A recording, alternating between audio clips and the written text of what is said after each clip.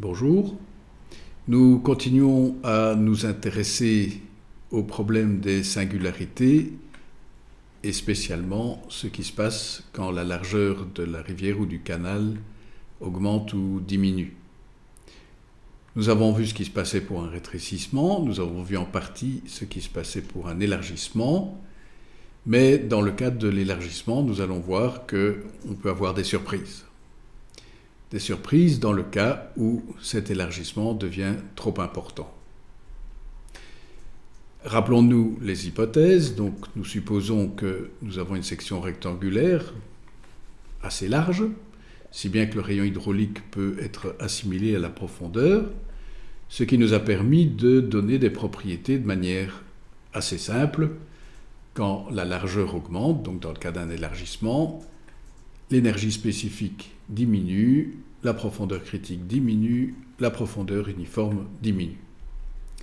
Et nous avions vu euh, dans la leçon précédente que si on, cela aboutissait à une image de la courbe d'énergie spécifique, avec C2 qui se trouve à gauche de C1, HC2 plus petit que HC1, U2 qui se trouve à gauche de U1. Nous avions vu également que dans le cas d'un élargissement modéré, nous perdions de l'énergie spécifique depuis le point A jusqu'au point 1, ce qui nous permettait d'avoir encore un peu d'énergie spécifique à perdre pour passer au point B. Nous avions donc euh, obtenu le résultat suivant, un axe M2, une dépression au point 1, et puis un retour vers la profondeur uniforme U2, et puis un axe MU. Nous allons maintenant progressivement augmenter la largeur L2. Alors, on doit regarder en fait à trois endroits à la fois. On doit regarder le dessin en plan, on verra que L2 augmente. Et nous verrons les conséquences sur la ligne d'eau et les conséquences sur le point 1 qui se trouve dans le diagramme d'énergie spécifique.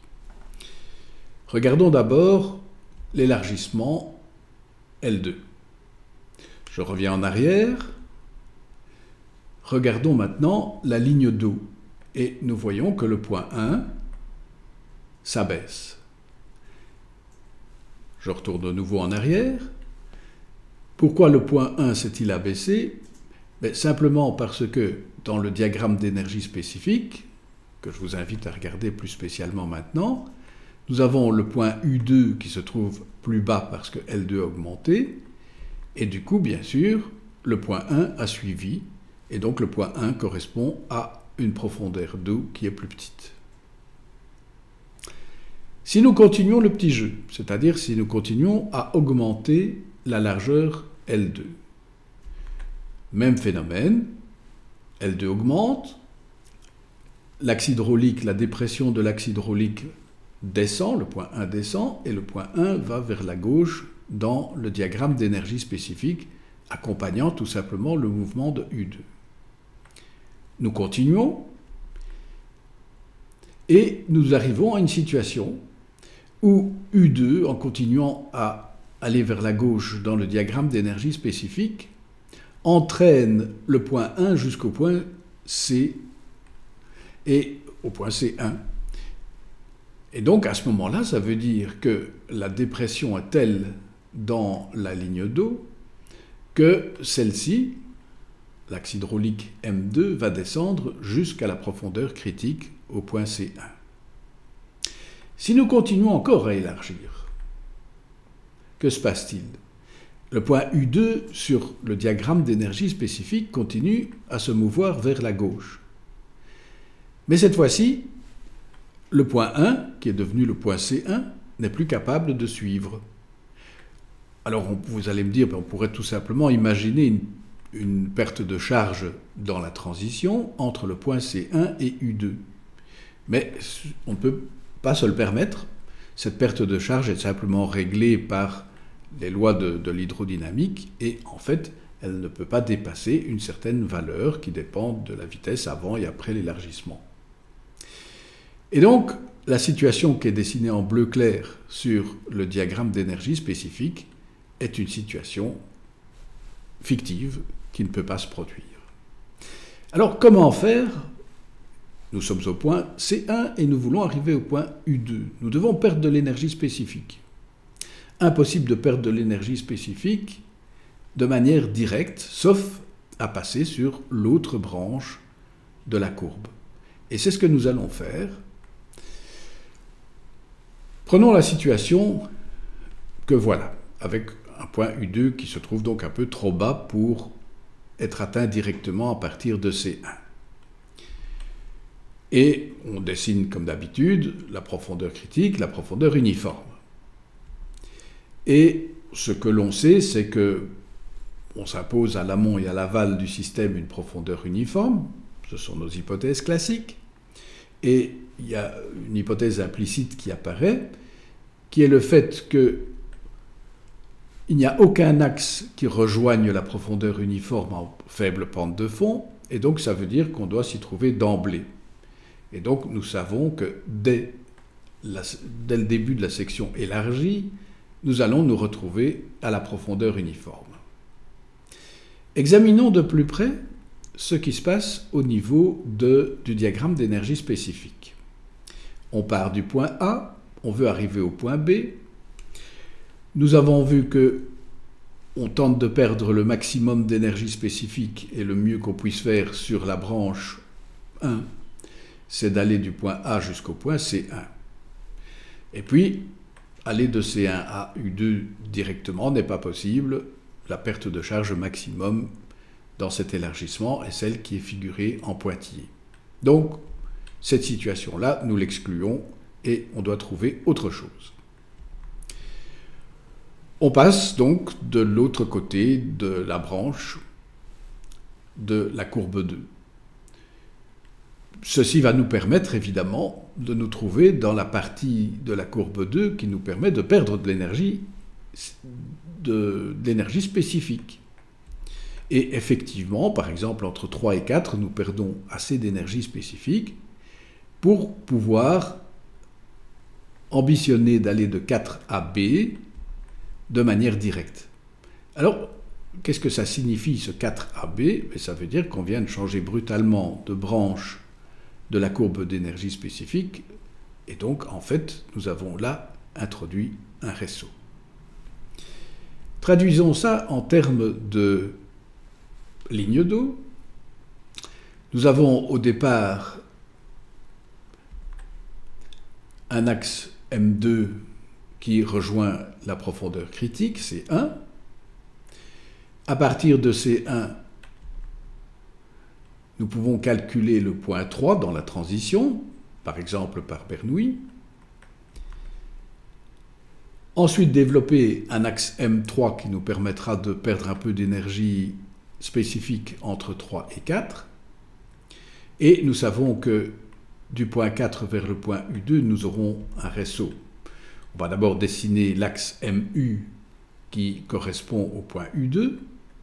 Et pour trouver l'emplacement du réseau, on va calculer le conjugué de M3, qu'on va appeler M'3, et nous savons qu'à l'intersection du conjugué de M3 et de MU va se trouver l'emplacement du réseau.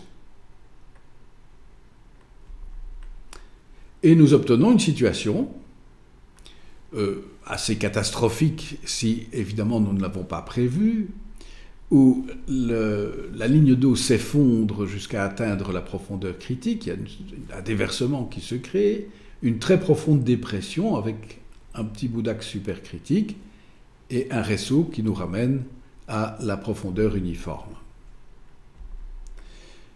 Comment fait-on le calcul dans la pratique? En fait, le point C1 est devenu un point très important pour notre calcul.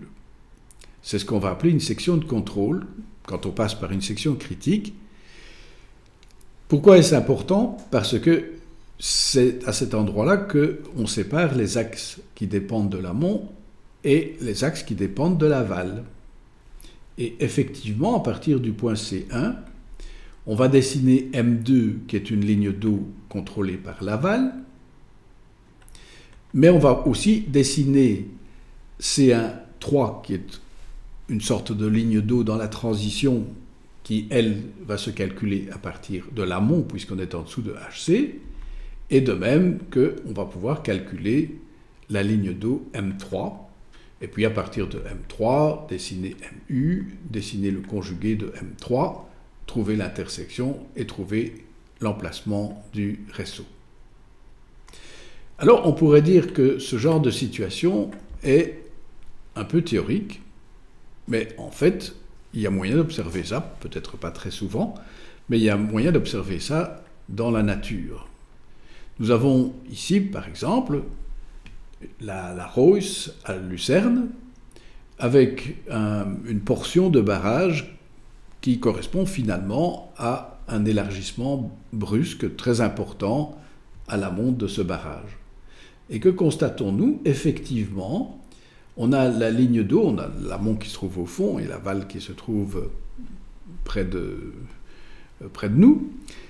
On constate effectivement que depuis l'amont jusqu'à l'aval, on a un déversement qui s'est créé, donc une section de contrôle au, droit de la partie du barrage qui est ouverte, et puis un plongeon et un morceau d'axe d'amont, d'axe M3 et un réseau. Évidemment, ce réseau n'est pas aussi pur que sur les dessins que nous représentons schématiquement.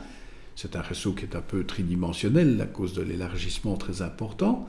Mais finalement, on retrouve bien toute la philosophie du résultat que nous avons développé. Prenons un exemple de calcul. Je vous l'ai dit, le plus important, c'est de démarrer par la section de contrôle, puisque nous avons repéré qu'il y en avait une. À partir de cette section de contrôle, on a calculé bien sûr HU, on a calculé HC dans la section 1 avec la largeur de 40 mètres et dans la section 2 avec la largeur de 100 mètres. Nous voyons qu'il y a une grande différence entre la profondeur uniforme à l'amont et à l'aval, qui est tout simplement le signe de la très grande différence de largeur entre l'amont et l'aval.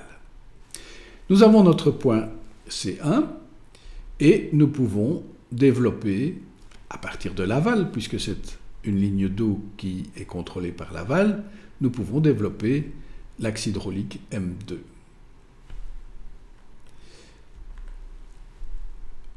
À côté de cela, si on fait le calcul, on voit qu'on pourrait aussi trouver une ligne d'eau, la ligne d'eau qui est figurée en violet et qui démarre en C1, qui est en fait une solution mathématique de l'équation, mais qui n'a pas de sens physique.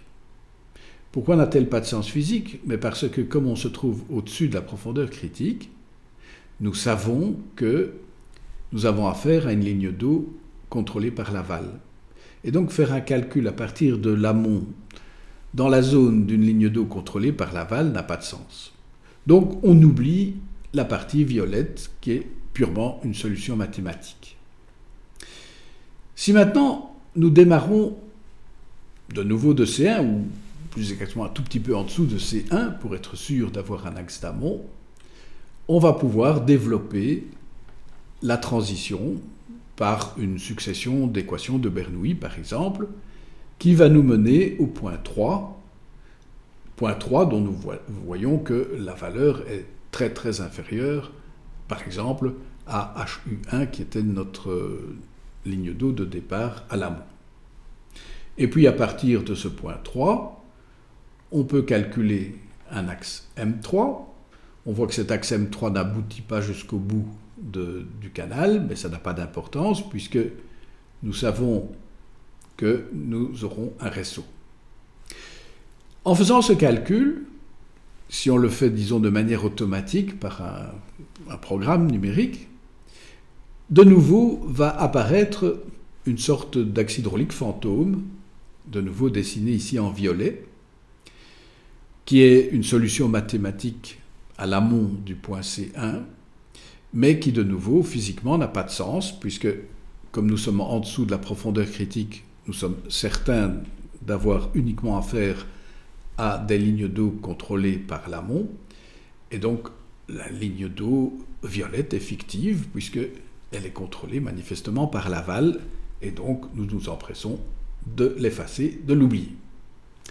Reste maintenant à trouver l'emplacement du réseau.